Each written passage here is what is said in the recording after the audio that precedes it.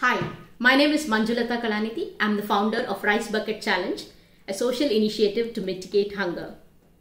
I'm always used to receiving awards in big platforms, but today something very special happened. I got this award home delivered, and this is from Beyond Pinks. It's an all woman startup supported by Niti Aayog and the government of India. And they have recognized my work during COVID 19, and I'm calling, calling me COVID Warrior. Thank you so much Beyond Pinks. This award has been given to me for collecting about 27,000 kgs of rice and groceries via Rice Bucket Challenge and we sent it to nearly 78 places across the country, uh, touching every demographic. Thank you Beyond Pinks. This award is an amazing validation for all my work.